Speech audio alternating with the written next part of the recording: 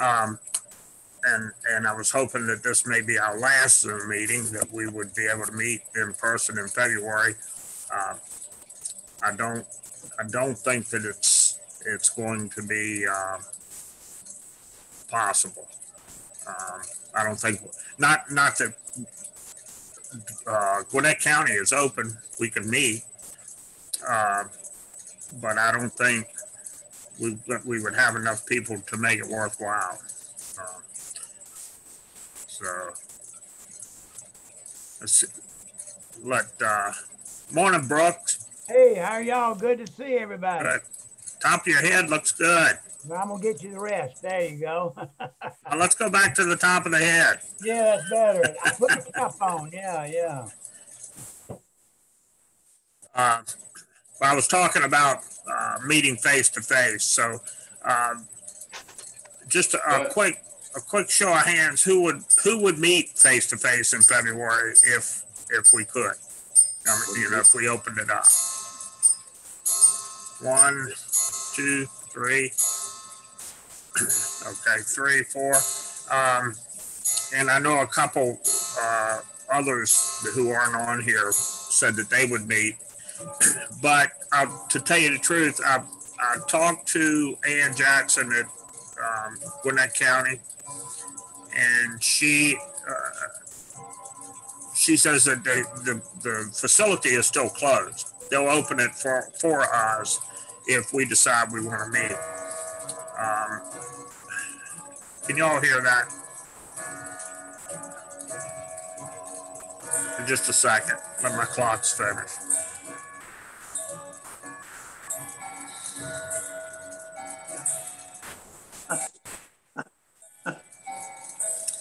There we go. Oh, just about. Okay. Um, so there, they would open the facility if we chose to, to meet. I told Ann that given the fact that, that, you know, February is just around the corner, uh, the vaccine still isn't, uh, uh, readily available. Uh, I'd like to cancel the February meeting. Unless, So if-. Great.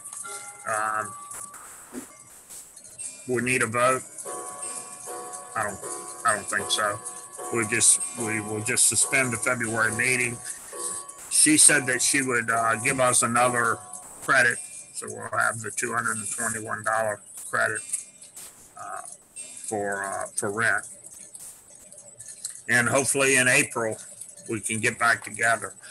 Um, I did I did talk with them and about the um, Wi-Fi. They have Wi-Fi there. It's not not very good, and um, they suggested and um, Randy, you might know you uh, you'll probably be able to explain this better than I. Uh, a mobile hotspot. Um, that's what they recommended. That, that we have a, if we had a mobile hotspot, it would work better to have a simulcast Zoom meeting and face to face. It's I, my understanding is you just use your phone as a cell uh, a cell site or a Wi-Fi site. I'm not, I haven't done that for years.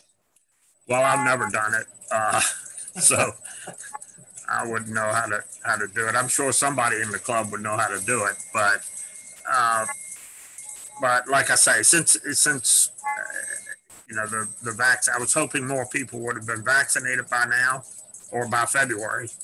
Um, I don't know if that's, if that's gonna happen, so, uh, for an abundance of caution, if we will meet and plan to meet in April, face to face, but of course, we'll have more communication before then.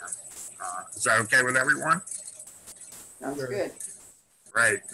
Uh, there's one thing you may want to check. I think the April meeting is on Easter. No, I changed it to the week Okay. after Easter. It's, Okay. um, I don't have it here in front of me, but Yeah, Robin wrote that on a note for me to be sure to tell everybody. yeah, I, I thought of that, you know, unlike last year, I thought of that. I thought of that when I was, uh, giving Ann the, the list of dates. So we're, we're good with that. So, Dan? we- If uh, you have a meeting and need mobile hotspot, I have one that uh, if I'm available for that meeting, I'll be more than happy to bring it with me. oh, great. So then we could have a, a simulcast Zoom meeting and, and, um, face to face. So, but hopefully in April, you know, everyone will be vaccinated and, you know, we can have a, we can have a face to face. Let's just keep our fingers crossed and, and hope that it'll be done by then. Uh, We don't have any guests, uh, or new members on that I know. We, um, Uh, We have a couple members from other chapters, I see, at least uh, Pat Manley. Sherry. Hi, Pat. oh, okay. We, we've got your names, we, but we can't see you. Colsons are here.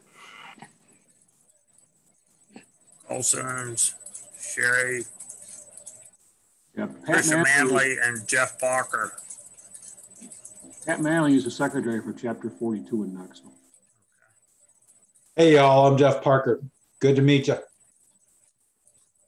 Good you to a- see you, Bob.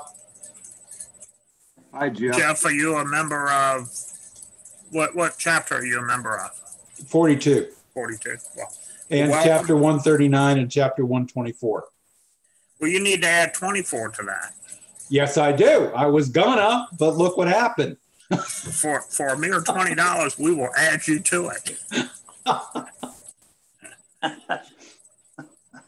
Well, welcome, welcome to our, our meeting and, uh, hopefully, like I say, in April, you can come to our actual meeting. God, I hope so, Dan. Welcome to Sherry Kits too. Yeah. Hey, Sherry. I think, uh, we could see you wave, but we didn't hear you if you said something. so. Yeah, I did. I had my, mi- I usually turn my microphone off unless I have something to say, so I'm not background noises. That's fine. Just nice to have you aboard. All right, uh, let's see, we have any old business? I think the only thing we had was, uh, was the Wi-Fi issue, uh, Oh. situation.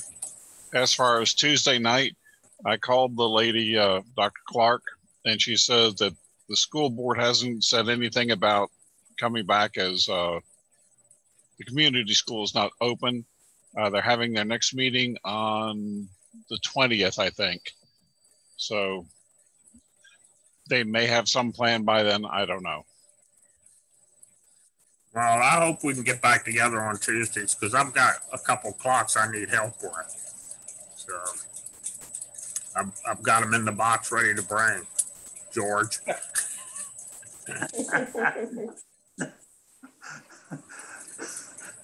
All right, uh, let's see. Now, I, uh, I talked with Glenn, uh, Alexander, uh, week before last, and he said that Tom Scott, uh, Hank Scott, uh, had stopped by his house. Uh, so he's doing apparently well enough, you know, to drive down to, uh, Norcross and, and, um, he said he bought a clock over and he walked up the steps and stuff fine. So he, he's, must be doing much better than, than he was. I wish that he could be on the, on the call. But has anyone heard anything from him? Okay. Uh, Let's see. I'm looking at my notes here for, um, I think that's it for the, for any updates and things, if- unless someone, someone has something to add. Yeah, Dan, I have one thing. Uh, My, my mail minutes for Al Orendorf, they keep getting returned, so he may have changed address. His email address? No, he's a snail mail, Oh, Locust Grove. He's, uh, it's coming back as uh, unable to forward. You know, I, I know his phone number was bad too at one time, so Norwell Court. Uh, Norwell Court and Locust Grove is what I've got. Yeah, that's correct. It's uh, 3619, maybe Norwell Court. It's, it's, Thirty forty-three. okay, I got a black line through it. Okay. I got an email address for him if you want to try it. Yeah, you want to send that to Bob? I don't have an email address for it. Well, it's actually al.orendorf at gmail. Oh. That's pretty original. It works. And you know, the, the, um, the post office may, I, I'm surprised that they sent it back to you. Um, I got an email from the electric company and the gas company that, um, the post office had notified them and said that they may not be able to get, um, their, their bills delivered in time. And I got my electric bill like a week after it was, it was due. Fortunately, I, I also get it online, but, um, I, I'm, I'm shocked that the post office, I guess they can't carry that, that one more envelope, uh, above the five they carry each day, so it gets too heavy in the truck. Anyway, I have a solution to the mail problem. I was concerned about my mail because I was getting delivery about three days a week. So I put up a locking mailbox mailbox. And since then, I've gotten mail every single day. well, I have a, uh, I, I signed up for this, um, informed delivery where they email me a picture of my mail that I'm gonna get each day. Unfortunately, most of the time it says, you're getting mail today, but we don't have any pictures. So, I don't, I, you Those- can't. yeah, that just can't means you're it out. getting ads. You're Yeah. getting junk mail. At least the political stuff has stopped Amen. for a little while. I'm still getting it. Why? Prompt delivery. Ah. Well, you know, if they private, privatize the, uh, post office completely, not just semi, um, that might help. Uh, Anyway, I'll get off my soap. Dan, I'm can you give that- it that address again? Because I think Bob's is different than what you said for Al. Thirty forty-three? Yeah, he had thirty-six, six, eighteen, thirty-six, eighteen. Thank Yeah. you. Thirty forty-three. Okay. Uh, we got some more uh, others, uh, that joined. Uh, Dan and Jess. Are you there? Or you I'm muted? here. Okay. And Stan Setch, Yeah, I'm here. are you from, uh, Knoxville. Knoxville? Yes, Good to have you. thanks. You just disappeared, but, No, I'm up in your picture next to oh, you. I see, I see you now. Okay. Dan and Jess, This is Dan Jeffries. I'm here. you've, oh, okay. I, I can see your names, but not, uh, can't see your face. All right.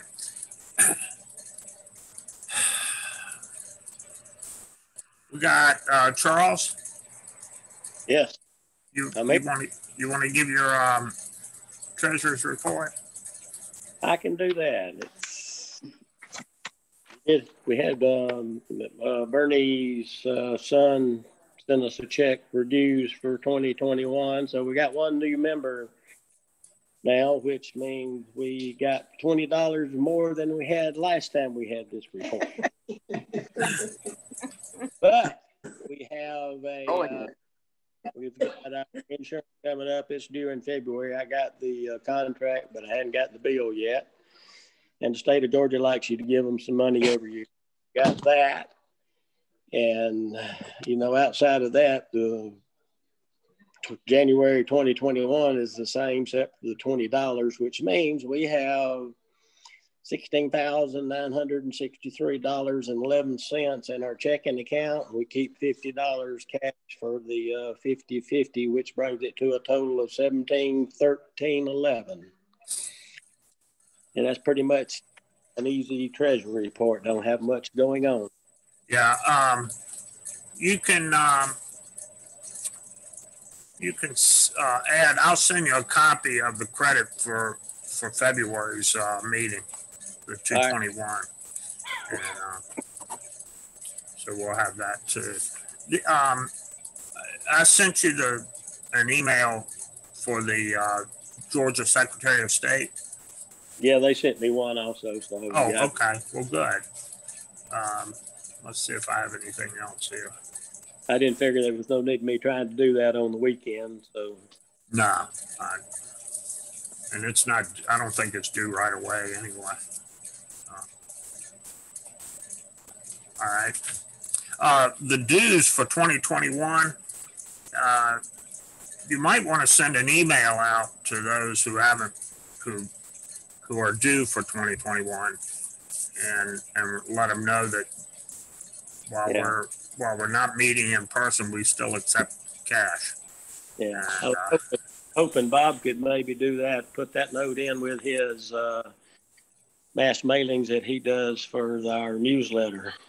Would be I don't know how to do the mass mailings just to tell you the truth of the matter.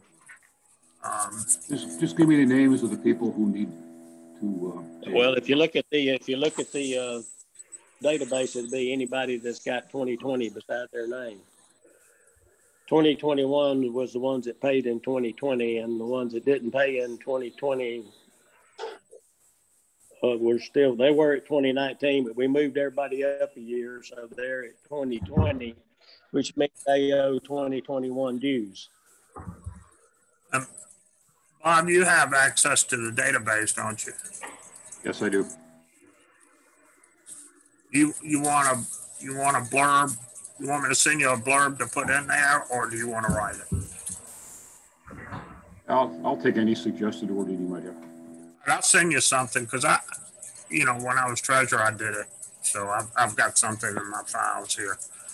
And, uh 'cause I, I don't know if, if I ever gave that to Charles. Oh yeah, I, well, I sent a letter out a couple of years ago to people who hadn't paid, but this is sort of a different situation. This is for dues that are due now, not past dues. Yeah. I mean, I sent out people who were way late. And Do I you know how many, do you know how many we have that, that need to pay? Uh, no, I don't have a number with me, but it's, I mean, I, I, I corrected the database and moved everybody up one year. So like I said, anybody that's got 2020 by their name needs to pay. Everybody else moved to 21 that it paid in 2020. Okay. Uh, and, and, you know, I- Dan, yes, while we're talking about money, uh, usually annually, we make a donation to uh, National and also to some money to the American Clock and Watch Museum. And I don't know what month we usually d- did it in the past, but it's something to think about for this coming year. And I'm sure both organizations can use any donations they can get. yeah, I know we, let me look back here and see if we, if I can see where we, we gave a donation to the, to National. I think we've already, we did that. Uh, I But- don't, I don't You remember, when. Charles? May have been a year ago by now, though. Yeah, you're right. I think it was the last time we were, not, maybe not the last time, but we approved it at a meeting, so it's been a year since we've had a meeting in person. And I never sent one to the other thing that he sent to Murph. I never heard of them before. Yeah, I don't think we generally give, give money to them every year, but we have. I know we've given them uh, a donation in the past, but it's been a while, George, I, I think. Well, we used to sponsor, we used to sponsor a clock at the American Clock and Watch Museum. And we used to give about three hundred dollars a year to National, uh, as I remember. I It's not like we're short of money. right. You can get short of money in a hurry if you're not careful. that's, that's true. Um, but I think we, I I think we've been given national, I want to say two hundred and fifty is what, what I think. And I'm going from memory and that's not good. Um, but it seems to me that we- we gave them like two fifty. Um, so, uh, you, you want to make a motion that we, we give, uh, an amount to them? Or do you want to wait till April?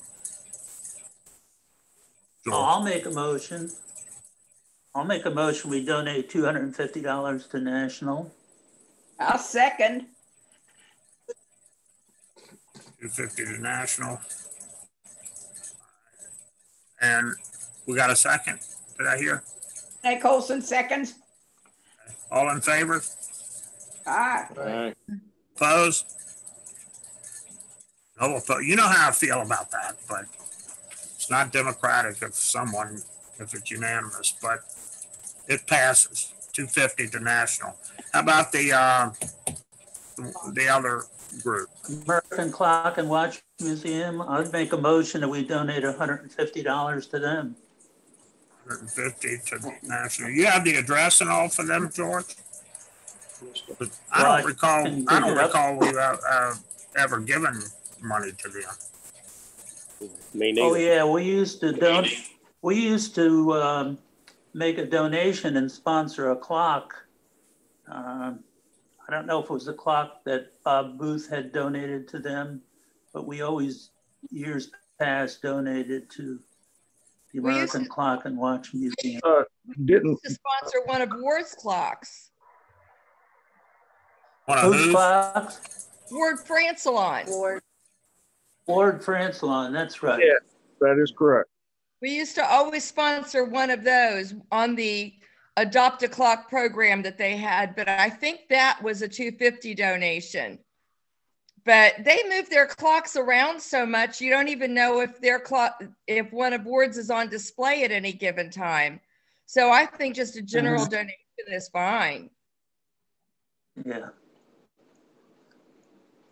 All right, So anyway, that's, that's my motion. um, do I have a second? I'll second. All in favor? Aye. Bye. All opposed?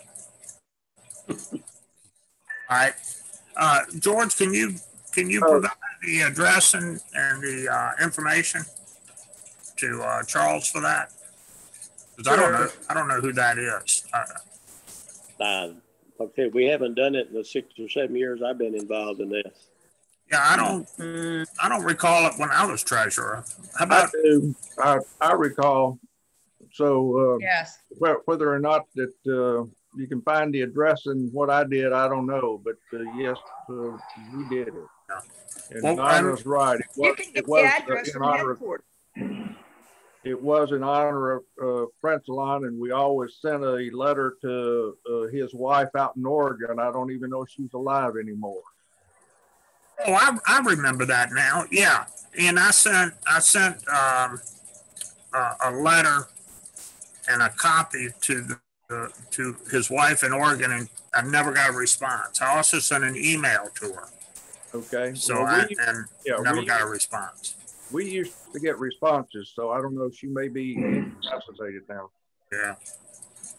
Yeah, I recall that now. One other thing uh, on money, uh, Charles, I have not gotten anything else from the insurance company. Uh, that bill would be due February first. Um, Yeah, I got the, Did you get the bill? I got the contract, but I ain't got the bill yet. Okay, yeah, because I had I had emailed you uh, a copy of what I'd got, but I've got no bill yet. So Yeah, I guess. I that's guess it. you just pay it off of what you got. I'll, I'll call them up. If not, they're in Norcross, so Okay, good. I'll good. get, Well, if I remember correctly, you'll get the bill after the contract. If, uh, cause they, Yeah. that Well, we we we've had that uh, uh, uh, uh, renewal thing um, for some weeks now, so I would have thought that we'd had the bill. Yeah. But who knows? As good as they are at addresses, they probably send it to Chicago. You're, you're right, because I haven't gotten it either, so. Anyway. Charles, can you have a way to write down the address? You can't even, well, I guess, hold on, let me get a pencil.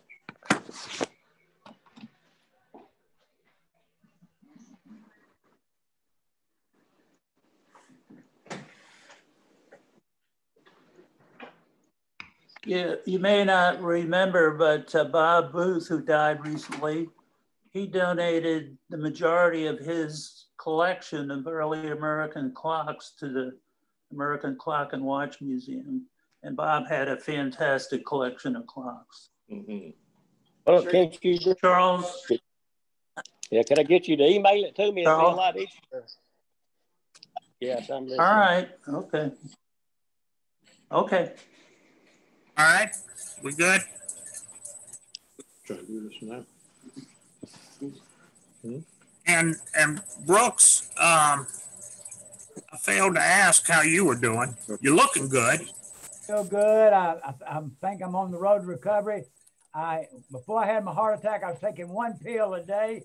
Now I'm taking nine. You know that tells you what you do. So, but uh, I appreciate all the calls, the contacts, the emails, the cards.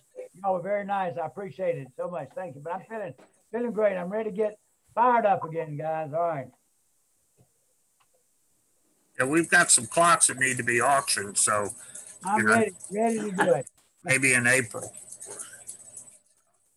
Well, good. Aren't you glad you're out of politics? I'm gonna tell you, that's the one thing I am glad I resigned when I did, retired when I did. It's a mess down there, boys. And girls. Yeah. I Couldn't agree with you more. I would, I wouldn't want to be in politics. I got out at the right time, the perfect time. Yeah. Yeah. All right, uh, George, you got a groaner for us? Uh, yes, I do. And sometimes I can't remember. I try to make note of when I, what groaners I've used, but um the first one here is, and I may have already d- done this before, but what do you call a tense clock? An answer is a clock that's all wound up. Oh, yeah.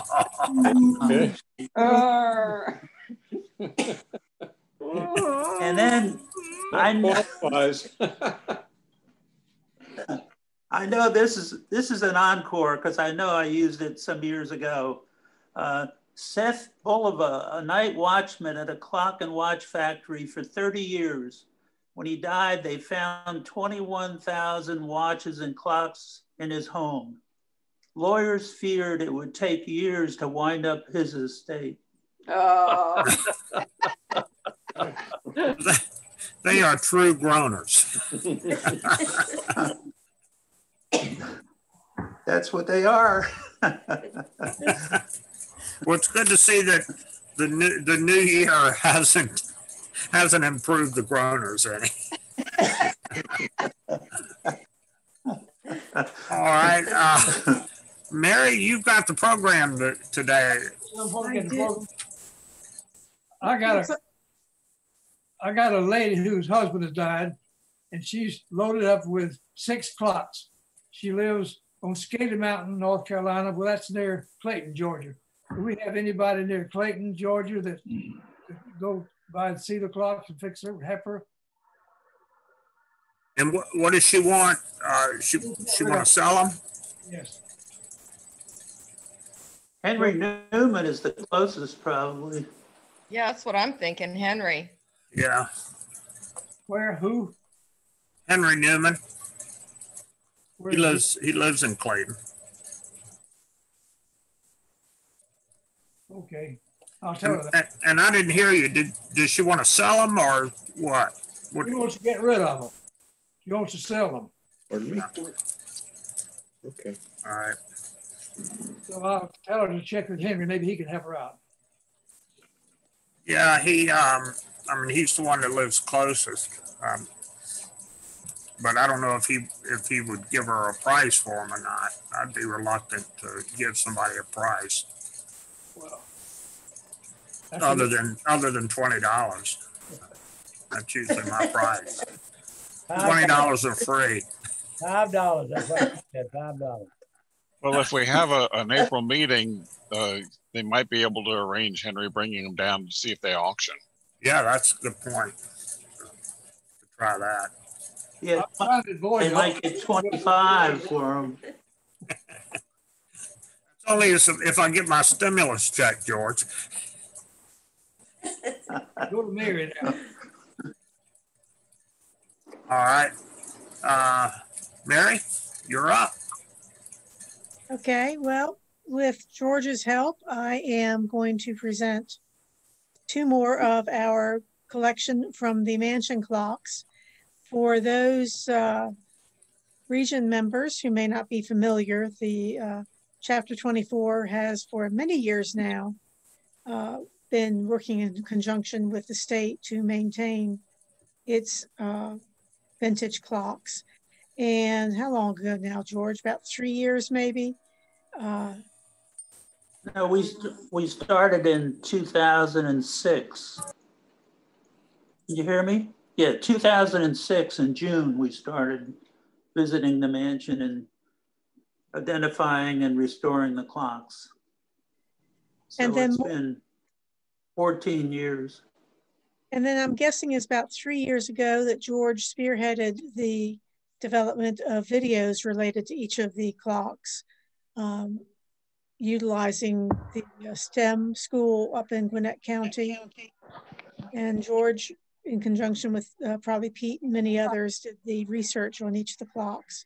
So what we're going to show today are two of those videos about the clocks that are uh, in the mansion, the governor's mansion collection.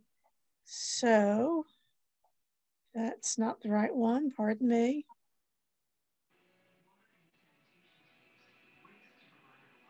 Um, I haven't done this in a little while. I have to share my screen first. Here we go.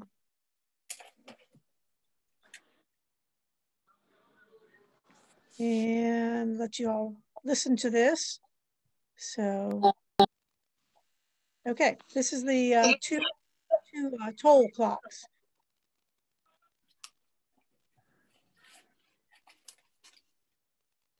And it doesn't want to run. Let's try this. Here we go.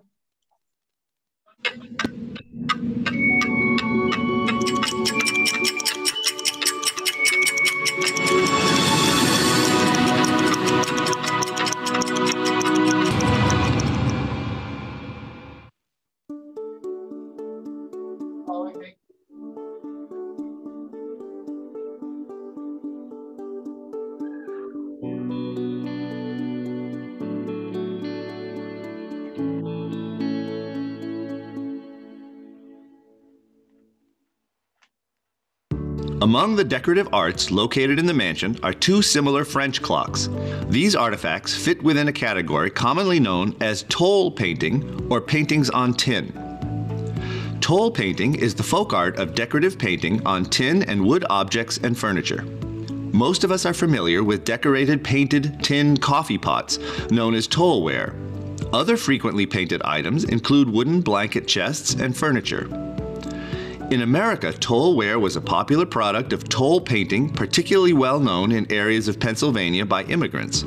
Popularly known as the Pennsylvania Dutch, they are actually Deutsch or German. Both the black and ochre versions are hanging wall clocks. The more simpler of the two tole clocks in the mansion is painted black with painted yellow or gold trim. This clock is located in the lower level outside the mansion's manager's office.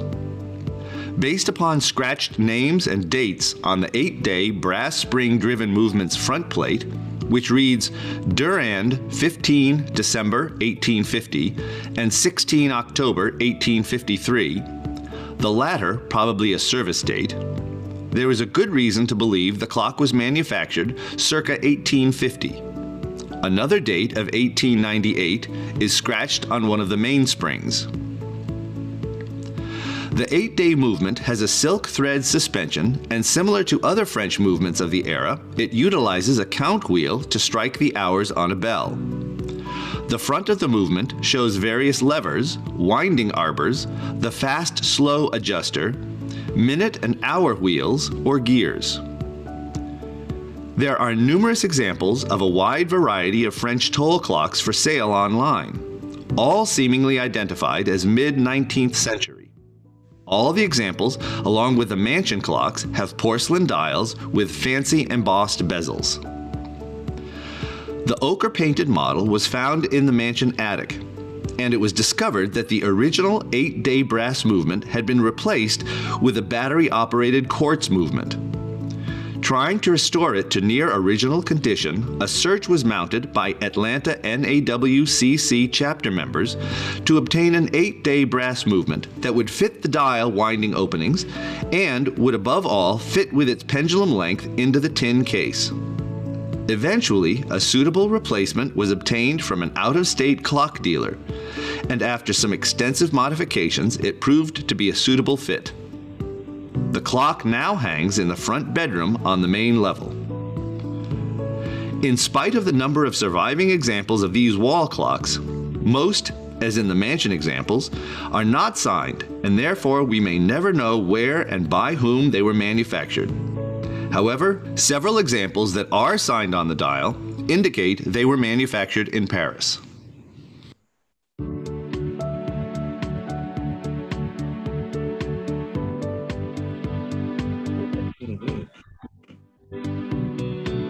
Am deliberately letting the uh, credits run to give credit to the folks who were involved. Uh, Of course, Pete being on our meeting today was obviously instrumental in that.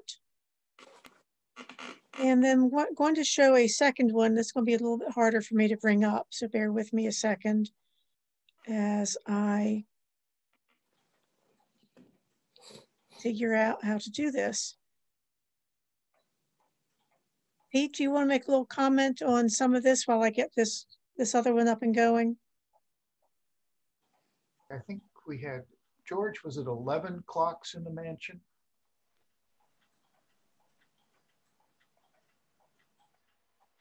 We have 10 clocks in the mansion. uh, And the video we just saw, that movement that we acquired from out of state, I think it was up in Tennessee or Kentucky.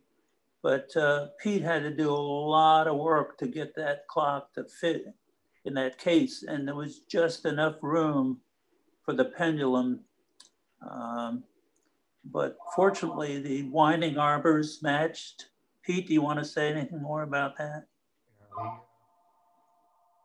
We had, of, of course, the, the arbors matched, but that doesn't mean that the false plate matched. And also, we're very lucky that the pendulum bob, when the rate was adjusted, cleared the bottom of the case by uh,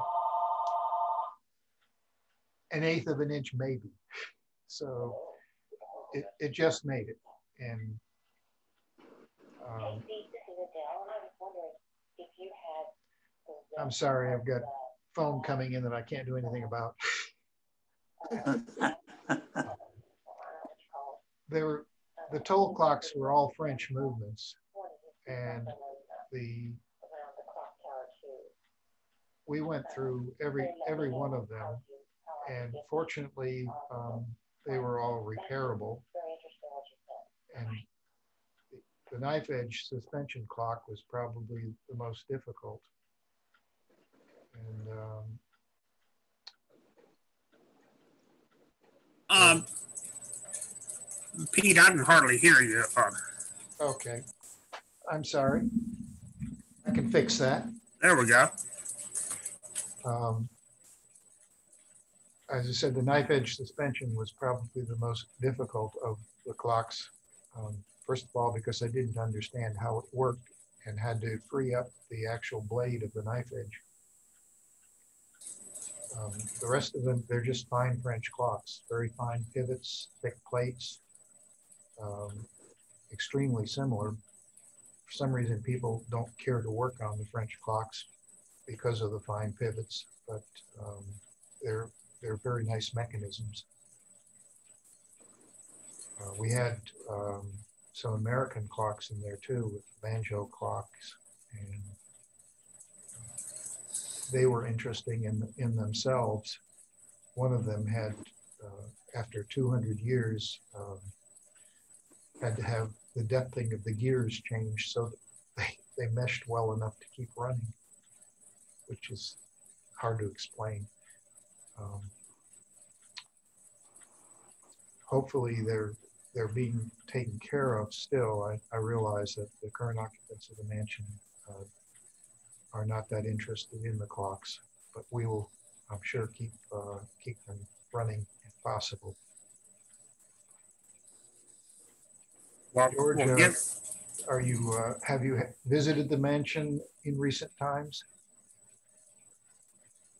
No, we haven't. We haven't visited uh, since the pandemic started. I guess it was maybe a year ago.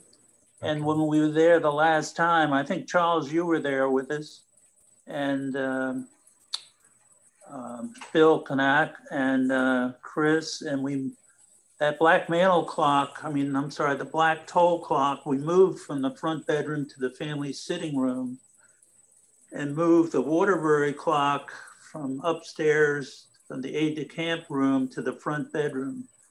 I think I mentioned last meeting when we showed that Waterbury clock video that the aide de camp room has been totally transformed into a room, sort of a playroom, a hangout room for the Kemp daughters, the three daughters. So all of the antique furniture, including that Waterbury clock, have been moved out of the aide de camp room. So the Waterbury banjo is now in the front bedroom down on the main living area. So uh, anyway, George, they stopped. They don't run any of them. I don't think they stopped them all. I understand. Is that that they don't? I believe so. Yeah, they. don't hear any of them striking. Yeah. So they stopped. Even the grandfather, they stopped them all. Yeah. They're not very antique oriented. No. Well, ju- judging from the way the, the politics have been going, uh, maybe the new governor will will have a different approach to them. Yes, yes. Yeah. Better, better watch what you wish for, Dan. Well, I, no, I'm, I'm I'm just saying that it may not be Kemp again, but. Yeah. Uh, And, and I'm not sure that they probably, probably, George, they probably wouldn't even let you in to the uh, mansion with the COVID now. No, I was thinking about giving him a call. Maybe I will this week to see what's going on, but we're not going to be able to volunteer there, I'm sure, for quite a while, especially with all that's going on these days. But um, I'll check with, uh, hopefully Linda, the, the lady that's at the desk there in the security area. If Linda's still there, I can talk to her or I'll get a hold of Kat, who's the manager at the mansion and talk to her. I understand the two in the Capitol, the one in the appropriation, and I understand the go they're still running. Uh, the guys that keep them wound, they they're able to keep them going. I think they're fine. Good. Good. Yep. Well, I'm also going to show a second video here. This uh, is, this is, As soon as I figure out which one it is. Let me try this again. Well, we'll go at it this way. I am sorry, I'm struggling with this. This is the second one. Well, here we go on the second video.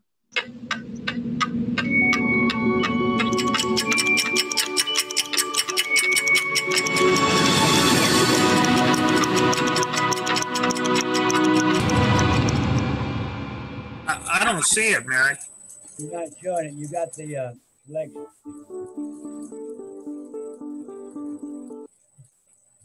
Okay, bear with me. Um, let me go back.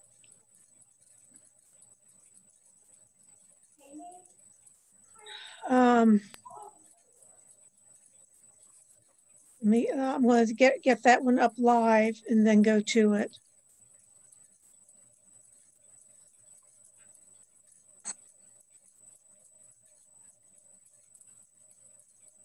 Heading out for now. Y'all take care. Bye, Randy. Hi, Randy. Hi, Randy.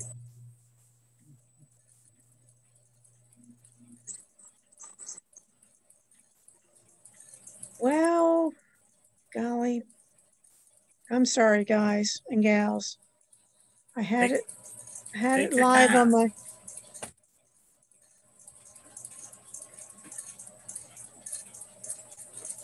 I don't know why it's not showing because, oh shoot, now I just closed it out altogether.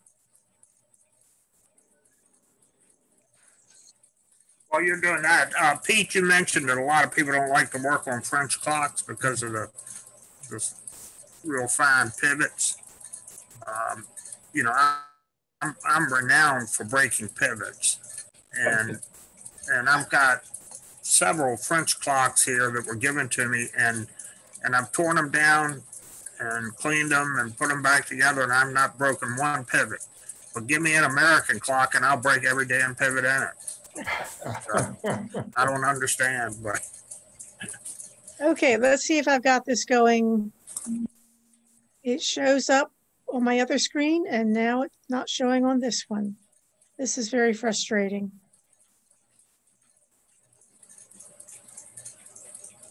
This is Jim Colson.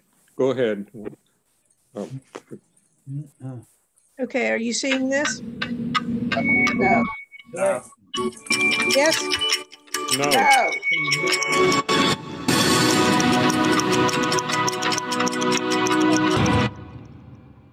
You Still me. no. You know, it, it, I can't explain this.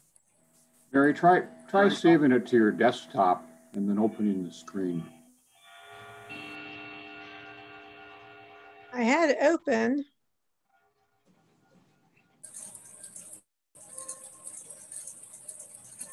We're seeing the directory on your desktop, oh, but do we're now. not seeing the video. So if you open it up on your desktop, it should show. Yeah, and then I, but then I can't get back to you guys to do the share mm-hmm. screen. Mm-hmm.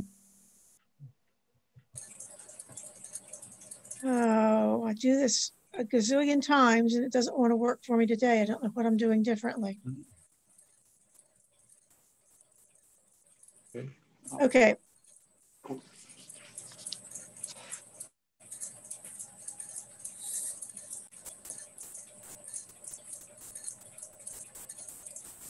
Dan, your luck with French clocks, that's because of all those French words you use when you're working on them.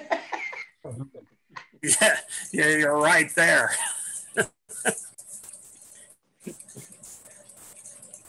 I, th- I think, you know, I know that they're real small and, and fragile, so I, I think I'm just more careful with them. I I need to extend that to these American clocks. Well, The same thing happens when working on platform balances, where you've got 5,007 inch pivots and you're closing up the cocks on them. You make definitely sure that the pivot is sitting in the jewel before you start tightening down any screws. Yeah. Otherwise, you hear this funny little tink, mm-hmm. and you know exactly what mm. tink means. Okay, I'm Then, gonna give then it, the French words come out. That's right. all right, I'm gonna give this one more try, folks.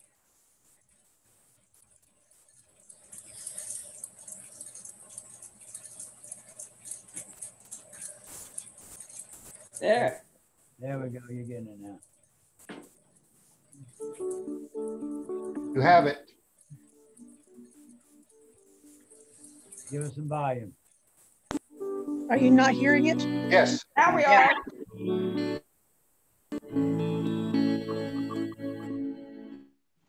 Way to go, Mary.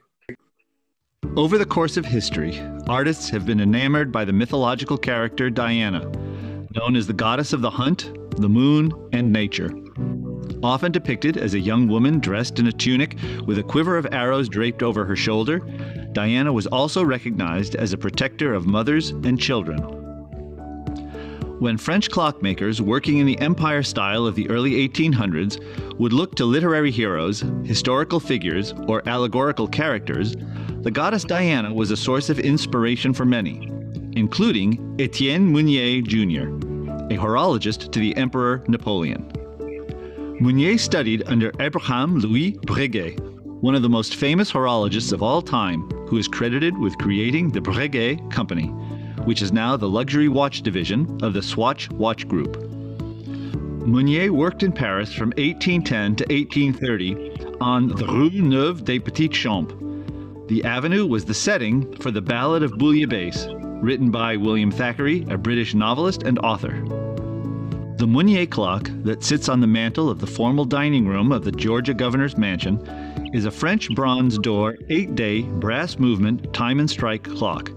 The clock utilizes a count wheel, which allows a hammer to strike the appropriate hours and half hours on a bell. The clock also employs a calendar indicator using a separate hand that points to the day of the month on the porcelain dial. Like many other French clocks of the period, it has a silk thread suspension. The clock features a seated figure of Diana holding a dead bird. The friezes of the rectangular dais are molded with dogs attacking deer and flanked by fowl trophies. At each end of the dais, there are anthemions flanked by griffins, a mythic creature with the head of an eagle and the body of a lion. As for the goddess Diana, the Greeks were so enamored with her, they built the Temple of Diana in what is now modern day Turkey. It was rebuilt three times and was considered one of the seven wonders of the ancient world.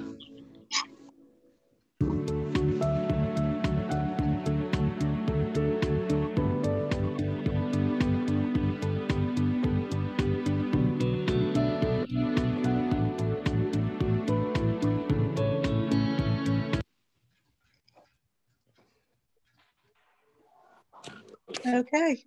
So once again, we need to thank those members uh, who were shown in the credits who uh, made the restoration possible. And then George, Chris Gagan, and, and Brooks put them together, and uh, Jim Gwynn, who did the narration there, uh, showing lots of the uh, work done by the group that included uh, Pete Schreiner. Mary, I'm still seeing your your screen. I don't. Is this? I don't know what city that is. Oh, actually, that's Sydney, Australia. There you Oh, go. it is. Okay. There we go. We're back. You know, every time I see these videos, I'm impressed at how professional Amen. it is. You know, I, I think, you know, everybody involved really did a great job. And uh, I think that, uh, what's the name of the school group that, that put them, that did the video itself? Gwinnett School of Mathematics, Science, and Technology. There you go.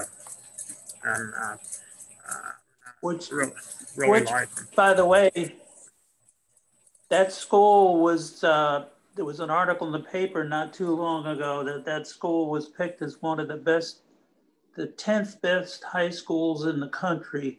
And in the state of Georgia is the, considered the most, the best high school in the state of Georgia. Wow. One hundred percent, one hundred percent of their students usually get scholarships to college. They do well. Their their colleges are after them, so they do well. Well, it, it's certainly a professional publication. Yeah, and Chris Keegan, uh, they have a fantastic, um, uh, what would you say, room for all of this video production. And we, you know, a bunch of us met with him multiple times working these things out. And uh, it was really a nice team effort. And Pete did a lot of that photography on these clocks, did a lot of the work on these clocks did a lot of the labeling for us on these movements. So it was really a big team effort and uh, And Jim, but a lot of Jim's research and a voiceover is great work. too. I understand, Gwynn. I understand several Yeah. TV stations were after Jim after that. He did so well, yeah. He's good. Well, he did a good job. And, uh, Yeah. just pronouncing those Which, French names, so I'm impressed. well, while we were recording, um, uh, Jim would call a friend and, and go over the pronunciation of certain words. He practiced ahead of time, of course, but even to get the pronunciation correct, he would call a friend and while we were doing the recordings and uh, to get the proper pronunciation. So, it, I mean, you know, it was just a fantastic, uh, fantastic experience. And uh, so, uh, it, like I say, we couldn't have done it without everybody's help. So, uh, which Yeah, brings me to the point which which brings me to a wanted to make a point uh, that Mary has Mary Jones has taken over as our VP, and um, I know Mary's going to be looking for programs for show and tell, for uh, you know all kinds of good stuff that we want to have on our on our Zoom calls. So it's going to take people like you guys out there and ladies to come up with some good stuff for us to help Mary deliver some good programs. And uh, I know that a lot of people here have some interesting clocks that they could do show and tell on, and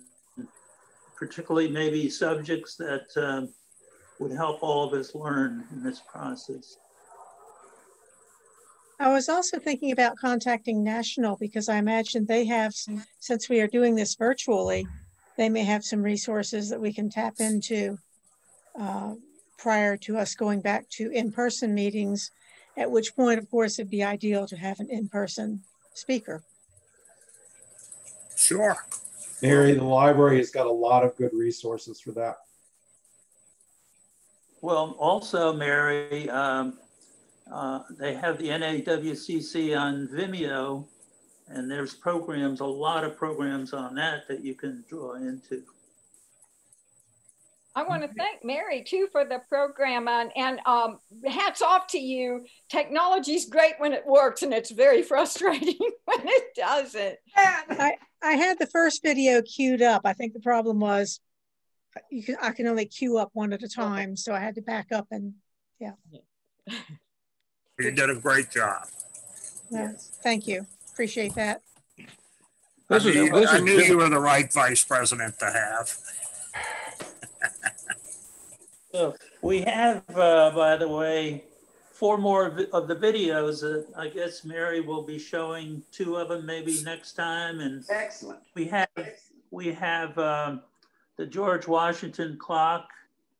Um, we have the Samuel Whiting banjo clock. We have the Verdier French clock, and we have the uh, the tall clock down in the lower level, the colonial clock. So uh, we've got four more videos. We had a total of eight videos. George, if any of the other chapters Yes. of Mid-South would like to use those videos, how would they obtain them Online. when the clocks for Atlantis? Uh, send a hundred dollars per, no. I knew Okay, it. we'll be right there. I think you have them online, don't George. Did, Well- did, didn't uh, we make these videos? Didn't we send a copy to National? They're online. Yes, they're, yeah, they can get, they can access them through Vimeo uh, on A- NAWCC. And um, otherwise, I'm not sure how we would get them to them. Um, Uh, didn't, didn't we put them on, um, or what are they called? What, are these things? drive. Yeah, Yes. flash drive. Flash drives, yeah. Didn't You we could put them on flash drives? You could also put them with our um, meeting minutes on YouTube. I'm sure that we could get a flash drive to anyone that wants to use them with with a little advance notice. We did, Uh, we did, we did. They are, flash they are available online through National, so you can go, go directly electronically to National. Yeah. And- Brooks, Brooks, what, what did you say? How many? George, remember, we ordered 20 flash drives and we sold out in three minutes. So they were, that we may want to get some more flash drives and make them available. So I'll get with Chris and see if he would, could do it. George, I'll get with Chris. And if he will, I'll order some more flash drives. Yeah, if we could do that, I think, I think we ought to donate one to each, each of the clubs in the, in our district. I mean, we're talking about three bucks a piece. Yeah, they're not much. Yeah, we're just. and, That would be- uh, I'm sure, I'm sure the Knoxville Club would appreciate it. Absolutely, as well as Nashville, they're doing uh, Zooms as well. And um, as you did, inviting other chapter members from the other Mid South, this is a wonderful program and it might motivate people to contact their capitals. We were lamenting that the Kemps weren't all that interested in clocks. Uh, I wonder if those videos, if somebody got them to them and uh, let them see it, whether or not they might take some interest in uh, and make uh, George and Chris and others more welcome down there. Good point. Nothing ventured. Well, we, we've already given the mansion a, a, a flash drive with all the videos on them. All eight. Do- yeah, but does do the Kemps know it? Uh, Because that was probably back Well- when Sandra was there. Yeah, I haven't checked lately, but Kat, the manager, was gonna put them on their website. Now, I don't know if she ever did. I never double checked on that. Where They didn't the- express a lot of interest in the clocks from the beginning, so. um, Unfortunately, One of the members referred to it as the Beverly Hillbillies of the mansion, you know, so I don't know. But you know, I bet you, I bet you you're right about the other, uh, state capitals. I mean, they're, they're, all of them, I bet have antique clocks. Right.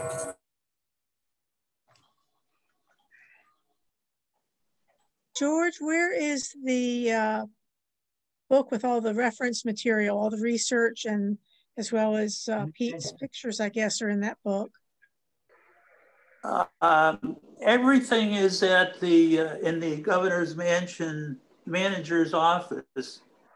Uh, we've got at least two leaf, loose leaf binders with articles about all of the clocks, each of the clocks, including pictures of similar clocks made by the same makers. We have given them copies of the bulletins where our articles were printed, uh, including the Capitol clock, uh, the flash drives. Everything that we had uh, is there at the mansion with all the research we've done. Is that the only copy of the research that exists? pretty much. I mean, it's all in one place.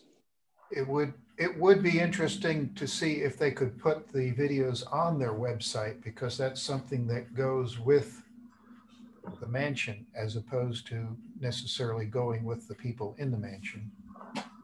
You know, the mansion is managed by a, the Historical Society. There's a group that manages the furniture and manages the mansion.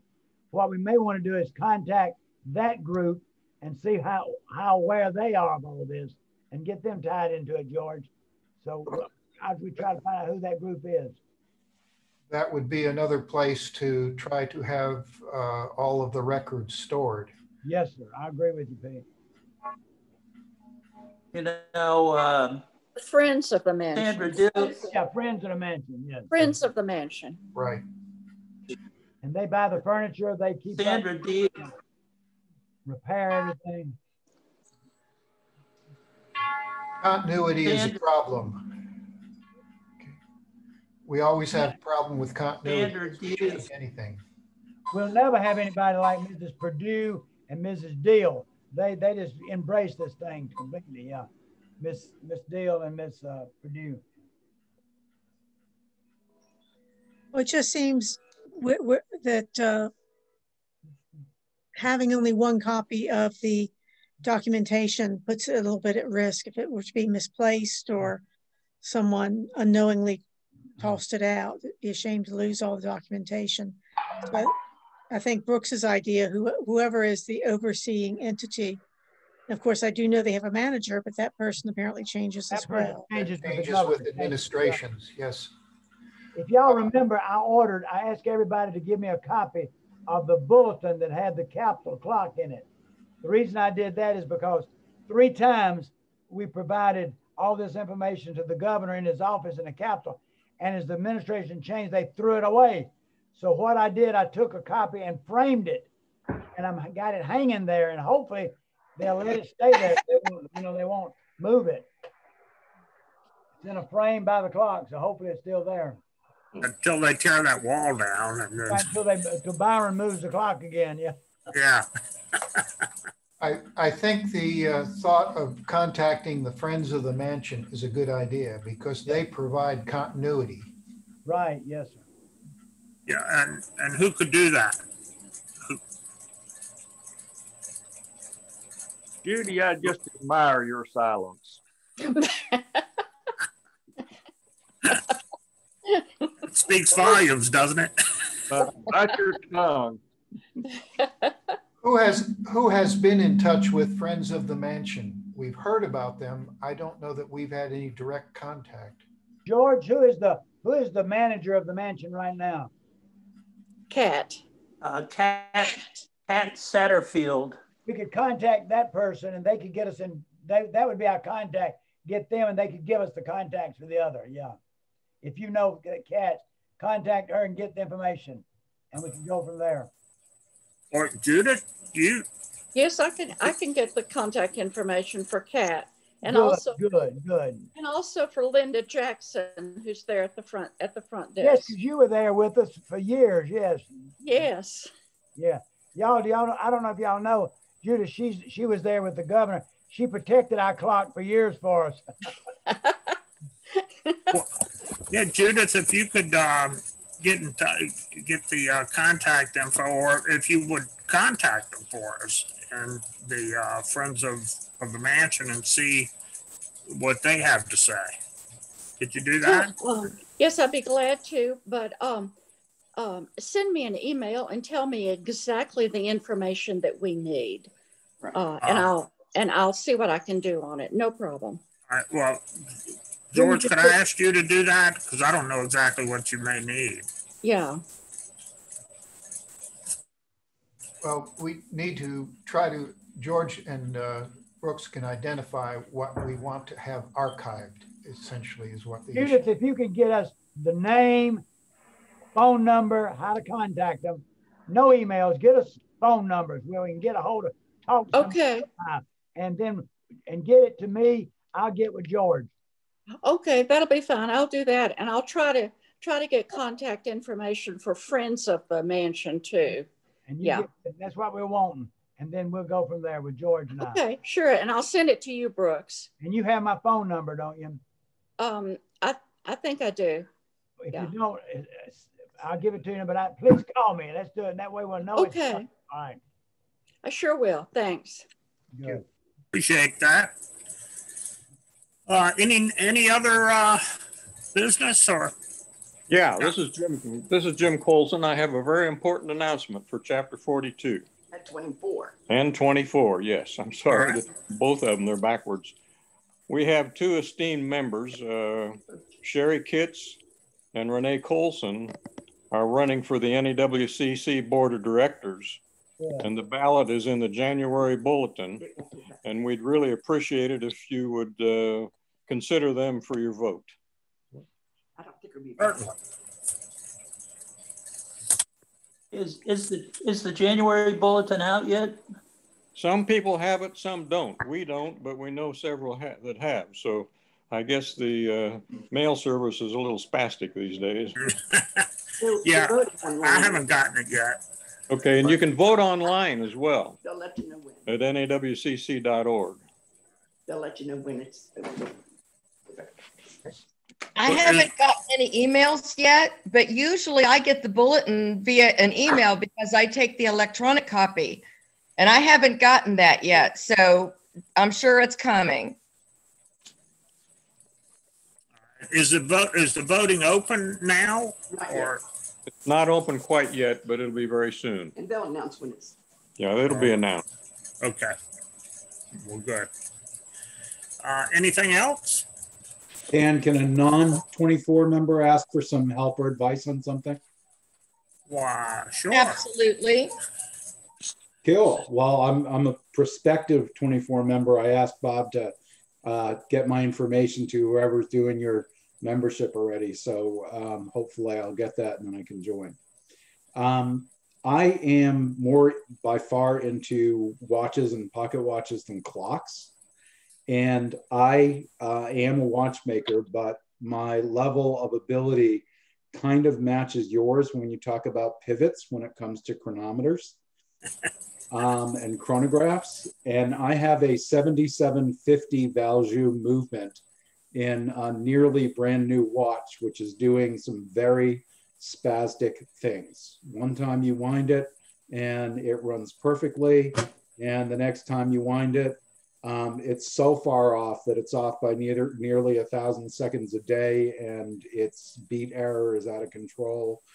And uh, um, it's it's got a uh, modulation of almost 360 degrees from a normal like 270 or so. So I have, and it's intermittent, of course.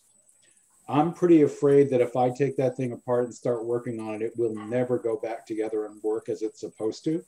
So I'm looking for somebody that could help me with a 7750 chronometer so that it does not become a parts watch.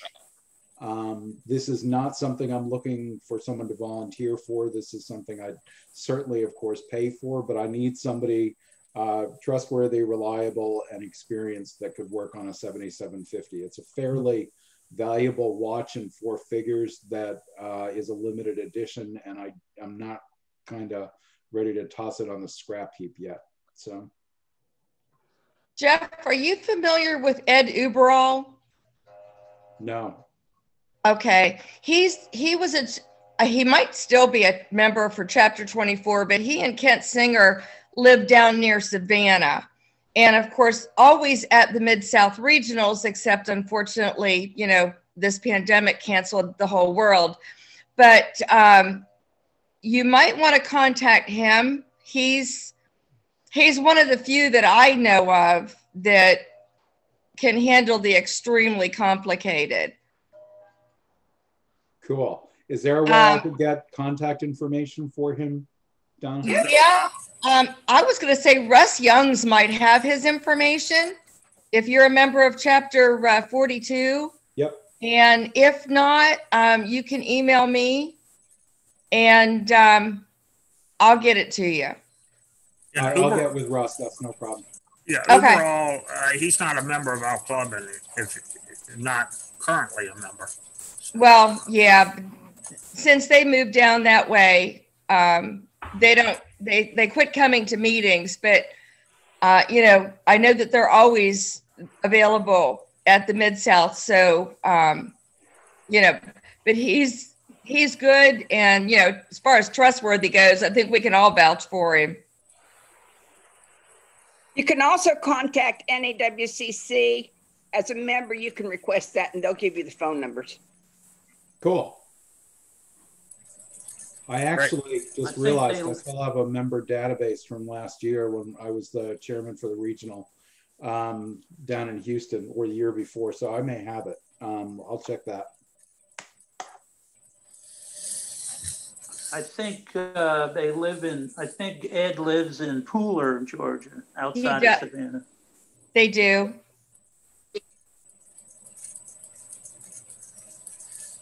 Perfect. Thank you, guys. All right. Anything else? Anyone have anything? Well, I'd like to say I thank you all for allowing Chapter 42 to visit uh, by Zoom. Yeah. Well, and you're you're welcome to join. Uh, you know, every meeting we have, uh, you know, in person or Zoom. We'd love okay. to have you. Well, thank you very much. And and Mary would appreciate any programs you may want to give.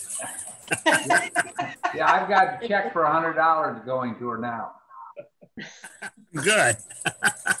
and Jeff, if you'd like to give, uh, you know, we're always looking for watch folks that, that because we don't have enough watch folks represented in the club, and certainly for programs. Um, I, I just finished um, a five year restoration of a patent lever uh, pocket watch from the late, late 1700s that is actually one of my ancestors uh, built that watch and it was um, plate number 26 for the company.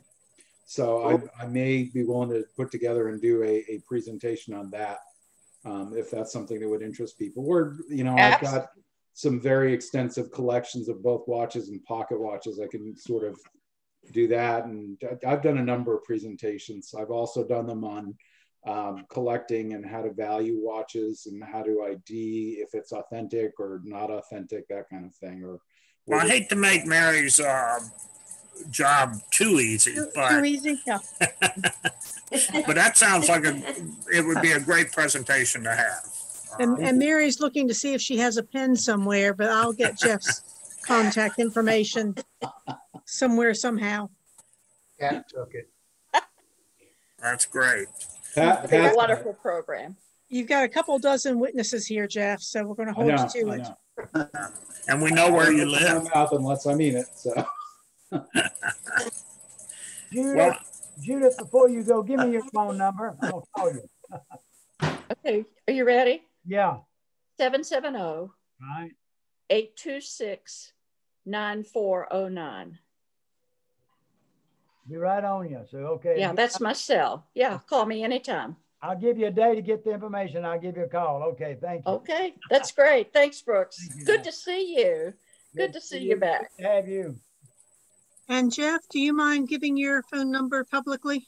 I do not. My phone number is, it's a Houston number still, but it's